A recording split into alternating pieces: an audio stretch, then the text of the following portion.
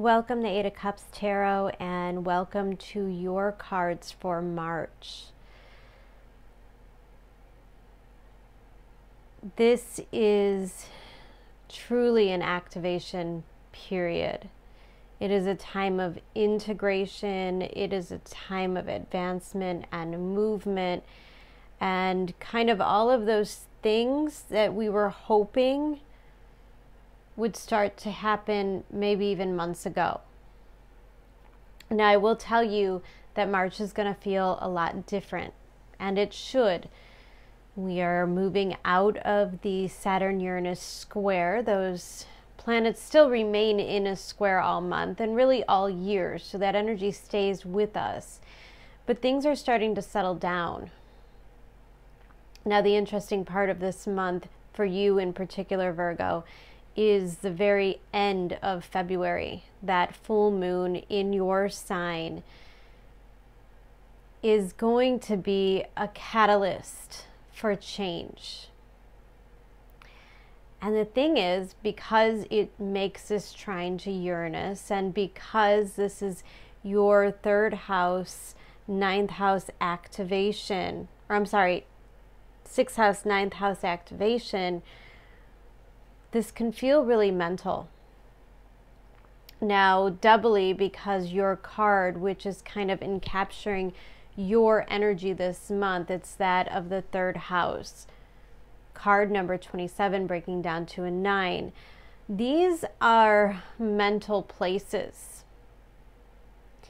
And March is going to move us into a softer place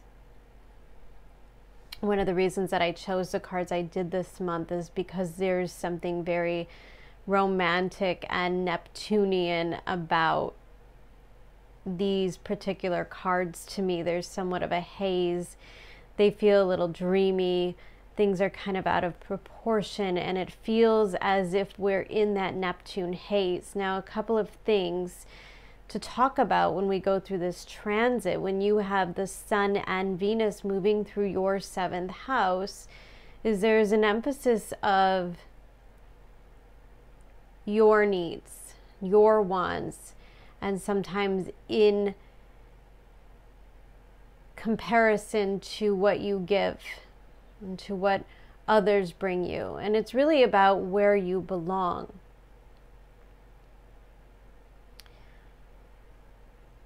Sometimes we can build sandcastles when we're in a Neptune transit. And you have certainly been dealing with Neptune in the seventh house for several years now, but this year in particular is a square to the nodes, which are in your 10th house. 10th house, 4th house axis is where we belong. It's where we come from, and it is where we are destined to land. And Neptune is creating this haze, making it really kind of tricky to figure out where we want things to go. Maybe we're feeling like we can't trust the things that we see with our own eyes. We can't trust our own judgment. And that third house says to me that the more that you are in your mind this month, the more Neptunian, the more confusion will you will invite in. I don't really think that this month has a lot to do with the logical things. Now, ironic for you because this is a sixth house, ninth house transit. This is really all about that self mastery, that discipline, the ability to organize and prioritize your time and do the things and satisfy the people and kind of be able to be in all the places. You are probably a pretty constant channel of energy for a lot of people this month. And so March might just seem electric. It might seem very busy. It might seem like there's an awful lot of communication going on. And yet, the overall energy of your reading is a lover's card. And that is everything to do with Venus in the seventh house. Now, one of the things that I was picking up when I looked at this cards is there's an emphasis of kind of two things. We have the lovers with their backs turned to each other. We have this center card of your reading, awakening card number 20. Um, and there's just an emphasis on two different directions. Maybe it's two different versions of self.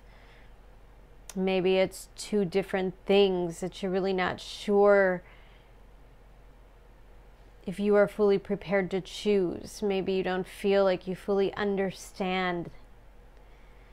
And March is a time of integration, and it's a time to stop hesitating and if the Saturn Uranus square didn't do you in in February, if it didn't make you look at things a little bit differently, because Saturn is all about the barriers and Uranus is about breaking the rules, but within the limits. So we do have to apply our intelligence. We do have to kind of think about the consequences, and it is a very karmic time.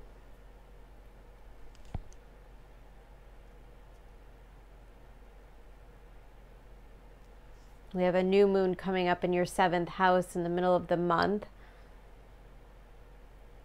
And all of this energy is all about who you are and where you belong and who belongs with you.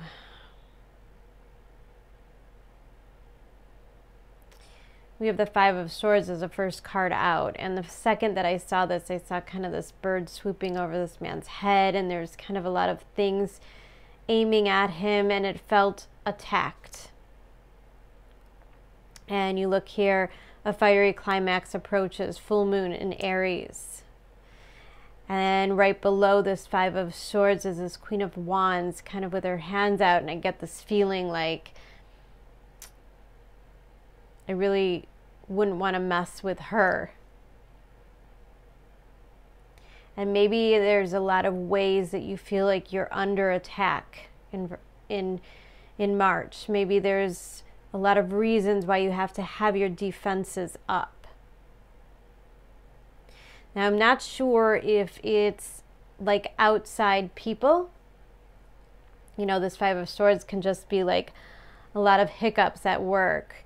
It could be just a lot of frustrating stuff going on. We do have Mercury direct, but still kind of covering that old ground. So, in a way, we're getting a, a, second chance to deal with situations, to make those phone calls, to close those projects out, um, really finalizing the details. And that process may not be easy when I see a Five of Swords. There could also be elements of feeling competitive, which means we're comparing ourselves to others. And this could be a mental place where we're like, you know, why didn't we get that done? Why aren't we farther along in this? Why can't we get relationships right? Why can't we, you know, and this could really be internal. And because it's a full moon in Aries card right next to it, the emphasis is on you, on the full moon, trining Uranus and squaring Saturn means you know things have to change. And regardless of how or why this Five of Swords energy acts out, it's going to force you to make the changes. So let's talk about what we're changing right here, the center of this reading. Uh, we've got the Eight of Swords, the Awakening card, and the Three of Wands.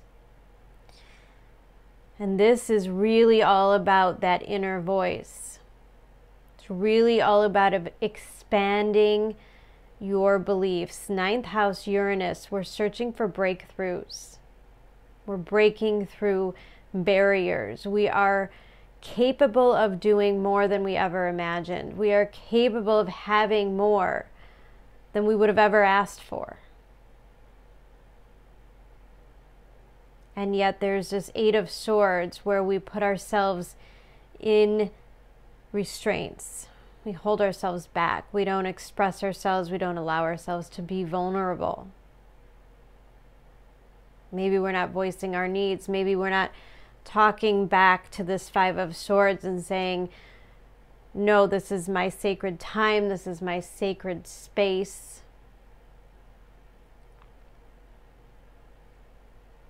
because this hangman it, it shows me that there's a part of you that is kind of frozen not knowing which direction to go not understanding which path to choose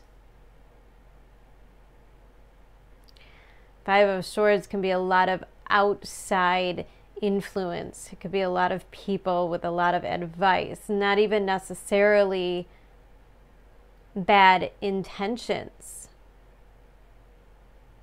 Queen of Swords, maybe there's a lot of people in your life saying, no, you shouldn't do that. No, it's not a good time to take that risk. And so you keep yourself in this place of being, of listening to other people's expectations. And yet, this card right here in the middle, it's like this knowing, knowing that the change has to occur, knowing that you have to that you have to grow, that you have to ascend at this time. It's the knowing, it's the calling. Middle of March, things start to really move. Things start to pick up because we're breaking through these barriers. Early on in the month, a fiery climax approaches. There are things that are happening, there's conversations that we're having they're causing us to look at things differently, to reframe our life, and to say, What do I want? And even to say, This isn't enough, or I deserve better.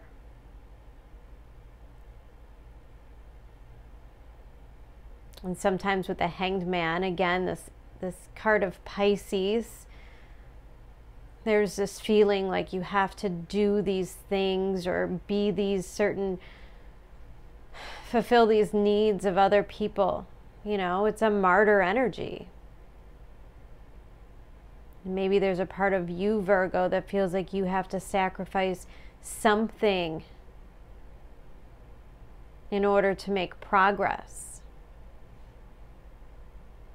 And that's kind of the exact opposite of what the universe truly wants you to do.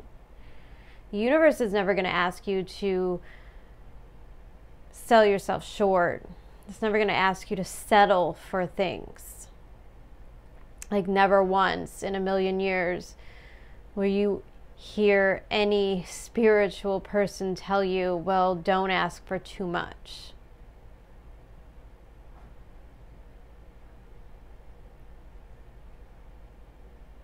The truth is, the awakening is how very little we've asked for to begin with. And I love that the Queen of Wands is here because it tells me that you have what it takes to make the changes. And the changes really only require the desire for things to be different. The desire to allow this to happen.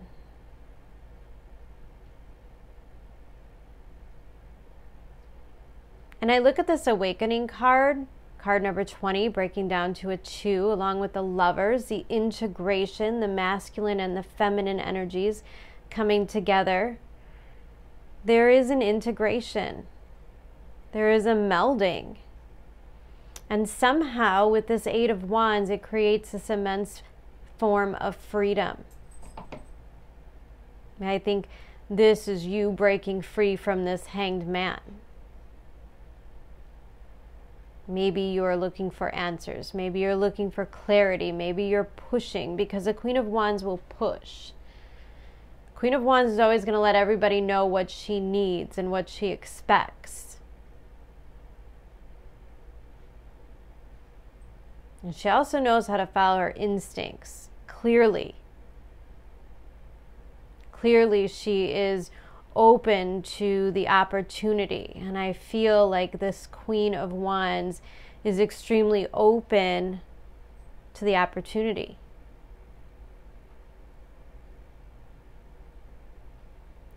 Sometimes when we're in an energy of contrast, like we have been all through 2020, like, how could these situations possibly get worse? Why wouldn't we want things to get better? Why wouldn't we want to heal. And yet we find ourselves, we find the world, we find the collective doing exactly the opposite things that we need common sense and logic in order to heal. And so Uranus and Taurus is really going to take its time. It's going to show you where you're stuck. It's going to show you why things aren't working. And the thing with the awakening card is that you're not going to have much of an option, right? Like, it's not really a choice anymore.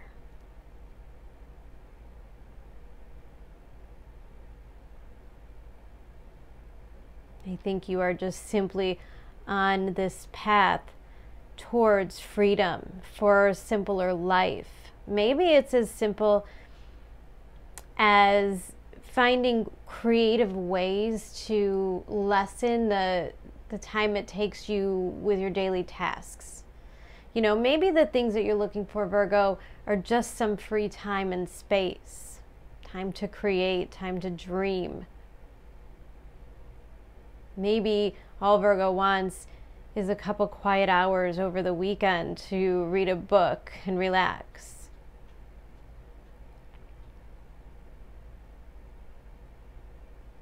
Because I get the sense with this Eight of Wands and this Wanderer underneath. I get a sense that what Virgo truly craves, what she really wants and desires, or he,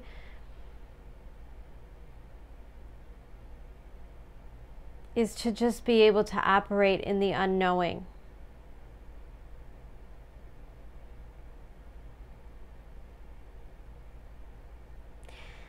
Now, remember, I said this Queen of Wands is somebody who is open, open to the awakening, open to the growth, open to the next chapter, the new thing.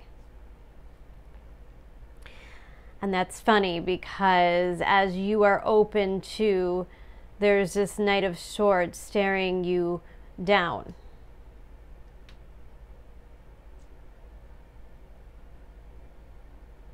I don't feel any bad energy coming from this Knight of Swords. In fact, it feels like it's creative energy. It feels like it's inspiring, maybe even a little aspirational.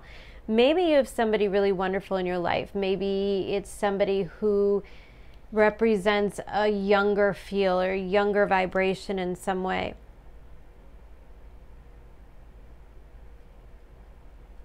And Virgo, I'm wondering if you're not just kind of going through your thing this month, like you're having this profound experience. You're growing so tremendously, and yet this Knight of Swords feels like they need to rescue you. This could be an actual person that's kind of like always there with advice and wise words. Well, I would do it this way. Well, you should do it that way. Or maybe just let me do it for you. And this seems to probably irritate you a little bit.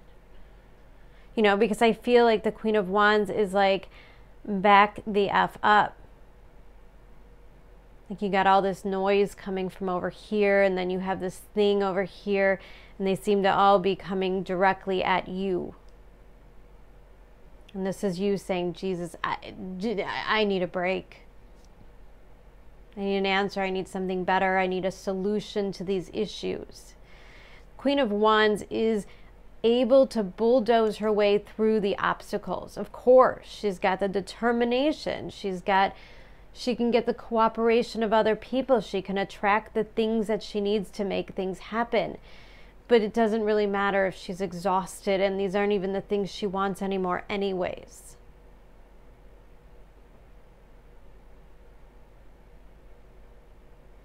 And you, this Queen of Wands, here facing the same direction as this Three of Wands.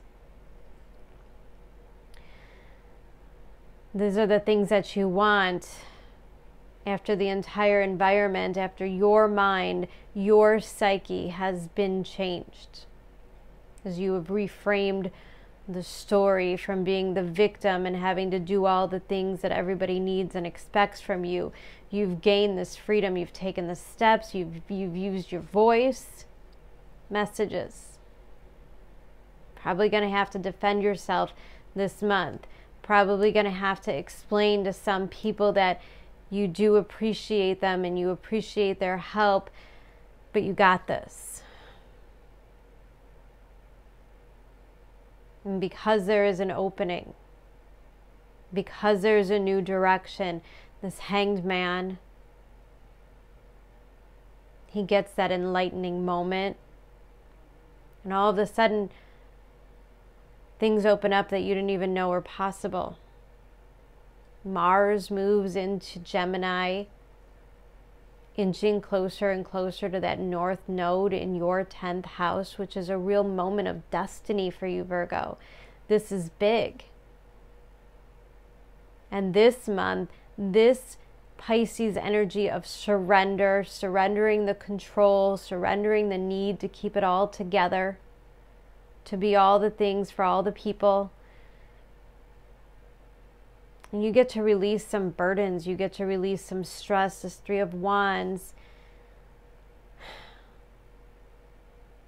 is like the planning and the preparation so that you could go on this next journey.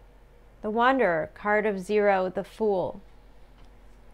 And I love how he's very like Picasso like, kind of not really fitting in showing this really deep, weird contrast between him and his environment. And I like the way that he is kind of on the rock representing this Capricorn energy. Capricorn in your fifth house, this creativity, this need for fun, for joy, for just plain entertainment. I think this is Virgo realizing that they're just ready for a whole new adventure.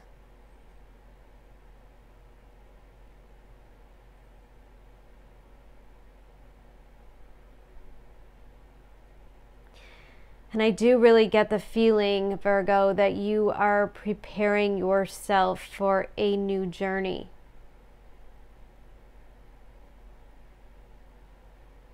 I think there might be people that you have to let down. There might be situations that you have to leave in the past. Maybe it's friends, maybe it's family members that you know talk about politics and really wear at your nerves. Maybe it's bad habits like overindulging on the news and all the negativity that's going on. And, and it's almost as if you're invited maybe even by a little bit of a universal shove to let it all go and whenever I think of March, I think of Lent, right? There's something that we have to give up, something that we have to sacrifice. It doesn't necessarily have to be something that we love and cherish. Like, we're not saying give up your children for a month. We're not saying, you know, give up food for a month.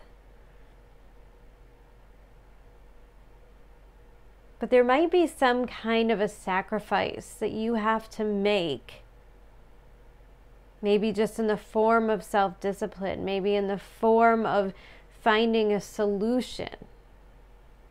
And then once you make it, the solution comes so quickly. And the obstacle is just suddenly removed.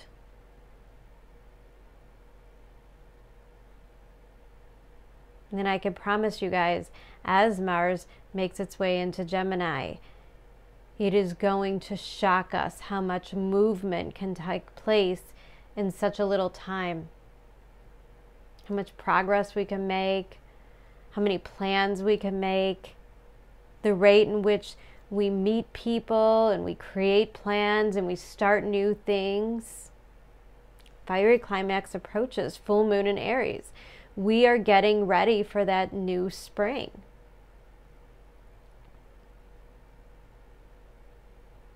And for you, it's about the letting go, it's about the making things easier, it's about looking forward to the future. Now we have this card down here, and it's next to this Knight of Swords. Attack, pain, fear, judgment, and any form of separation are merely calls for help. So pay attention to that thing this month pay attention if you're feeling attacked or triggered in some way. If for feeling like somebody isn't being respectful. You don't necessarily even have to say anything, but note it. Pay attention. Pay attention that the words that you have in your mind, you know. I was paying I was thinking about this the other day. I had screwed up the dates for something for my son's school and I was so aggravated with myself. Like I was really, really hard on myself. And then I thought, well, if my son had made this mistake, I would have never reacted that way. I would have never thought those things of him. So, why is it okay to beat up on ourselves that way? And if we're not the one beating up on ourselves, why are we allowing it, you know, certainly from other people? Even if they do have good intentions. It's okay to be triggered by it, and you have control over your reaction. But these are messages. Third house messages all of these things that irritate you, that trigger you in any way. Somebody says to you, Oh, wouldn't it be cool to do this? And your first instinct was, Oh my God, no, that's crazy. I would never do that. Pay attention to that fear, that block that you naturally put up. It doesn't mean you have to change it, but just be curious and open and look at those things.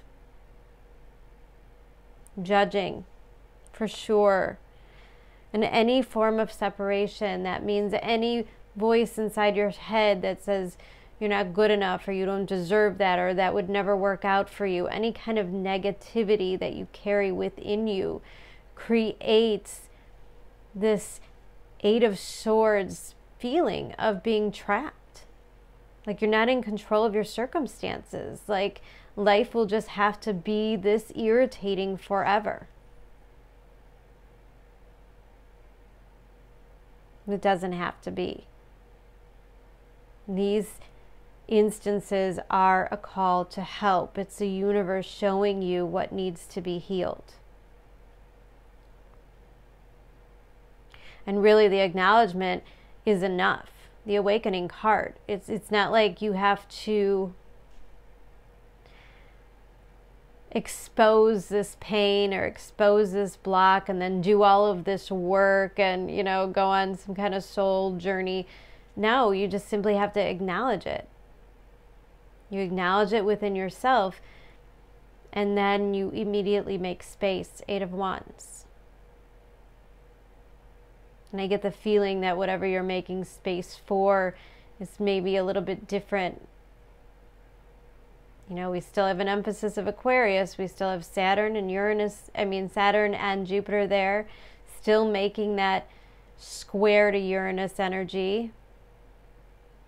Might be finding ourselves kind of embracing the weirder side of life, doing the weirder things, trying things that are a little bit out of character. And I think if you're getting that pull, if you're getting that instinct this month, you should certainly follow it. Card number 46 Peacock Spirit, Let It Shine. If there are any quirky, weird things about you, now is the perfect time to like wear it as a badge of honor.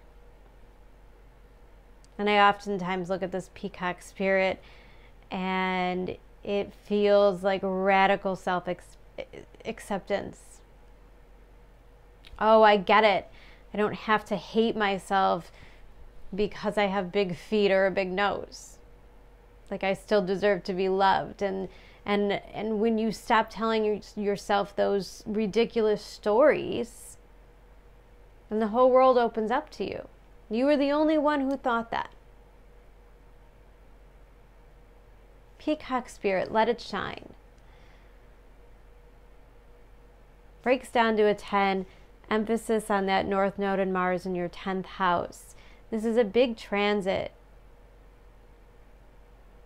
It's like the universe is like clearing the driveway for you.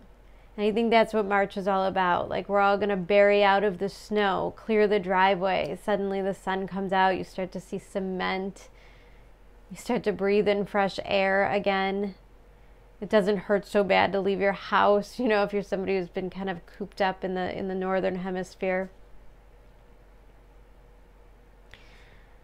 And I think the difference is when you start to love and respect yourself and when you stop letting go of all that other stuff, you start to really enjoy what you see. You start to really love who you become.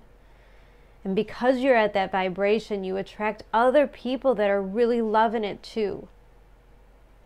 It's kind of like a calling into your tribe, it's kind of like a finding your niche. Sisterhood of the Rose, Beauty and Devotion, Priestess, Mystic, and Teacher. Again, it's not going to be about like the logical stuff.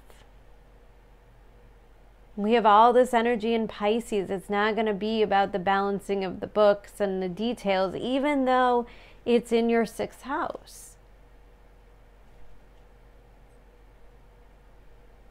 It's going to be softer going to be harder to navigate. You're going to have to feel your way through this.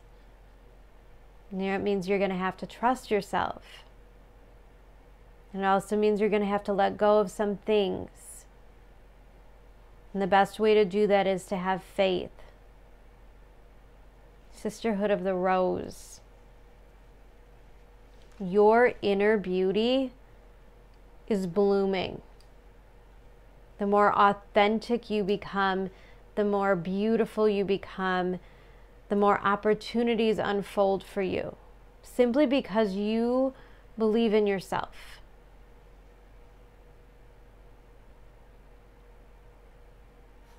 Really beautiful, powerful reading this month, Virgo. I feel like it's going to be a very, very special time period for a lot of us. And I certainly hope that you find the clarity and you experience the peace that you need. All right, guys, I hope you take care. I will see you again for your April reading. Bye.